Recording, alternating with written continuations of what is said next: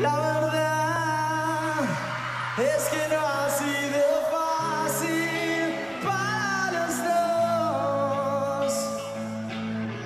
Hoy sigo aquí. ¡Sí! Yo quiero